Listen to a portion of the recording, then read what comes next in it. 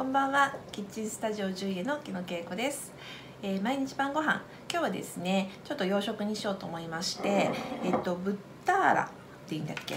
で知ってますか？皆さん。ね、今日はねそのね料理というよりもこのね食材のあのご紹介みたいにしたいと思うんですけれどもえっ、とねこれはですねモッツァレラチーズ。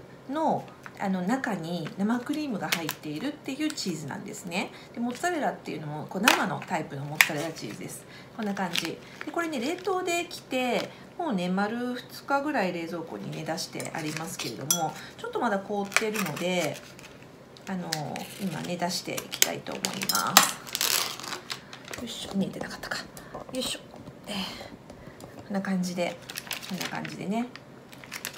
こんな感じに入ってます。これね2個入りなんですけれどもま通常1個ずつねパッケージされてる感じかな。であのちょっと周り凍ってますがああのチーズは結構いい感じに溶けてますね。こんな感じです。こんな感じです。こういうねあのモッツァレラチーズがねちょっと水に浮かんで売ってるのありますけれどもあの硬いタイプもあるけどね本来モッツァレラってこういうタイプですね。でこの中に生クリームが入っているという、まあ、あのチーズになります。でこれね私あの2年ぐらい前かな2年か3年ぐらい前にあの友達がねイタリア旅行に行ってでそこでねこういうの食べたっていう写真を見せてもらってすっごい美味しそうだねっていう話をしたんですけどもそれから間もなくしてねもう日本でも食べれるようになりましたね、えっと、まだねスーパーとかにはなかなか売ってないですけどちょっといいあのデパートとかねあの、まあ、デパ地下とかあとはねカルディとかにも冷凍で売ってたりします。うん。なのであの手に入る、ね、機会はあると思うんですけれどもこれはねいつもねあの食材を買う通販のねあのネットのお店で買いました、うん、このお店ね誰でもあの買えますので是非ねあの使ってもらうといいかなと思うんですけれどもいろんなねあの珍しい食材があって面白いお店です。今日はねこれをあの使ってねまあ、サラダにトッピングするだけなんで、まあ、どんな感じのものかっていうのをお見せするっていう感じにねしたいと思います。はい。はい、ではですね先ほどのブラータをね食べていきたいと思うんですけれどもあのよくあるねあの食べ方としてはもうサラダとの盛り合わせです。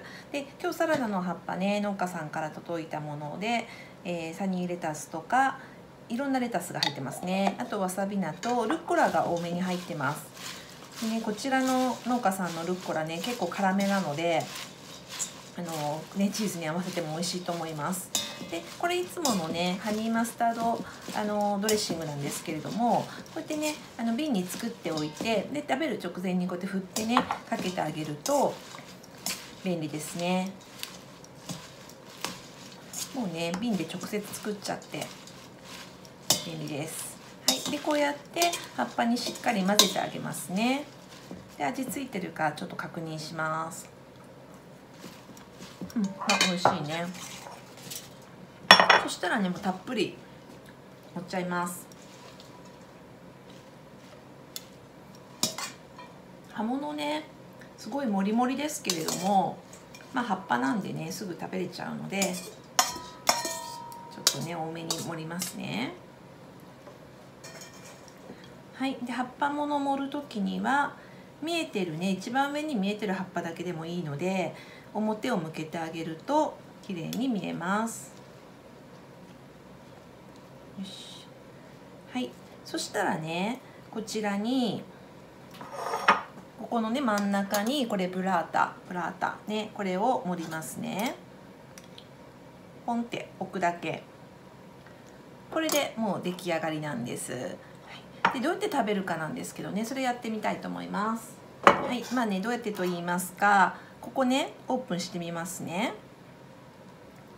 溶けてるかな？オープン。おいいね。わかります？わかるかな？こうほら見えるかな？これ。ん？見えてる？どうかな？見えてます？ちょっと画面で確認が。こうね中からね薄皮1枚でとろんと中からクリーミーなの出てきてるんですよ。ね。ちょっと見えてるかちょっとみ画像でね見えないんですけど。はい。じゃあここにですね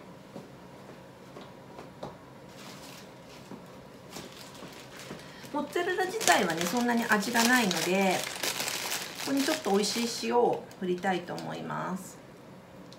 これねマルドンの塩って言ってこうやって結晶になってる塩なんですね。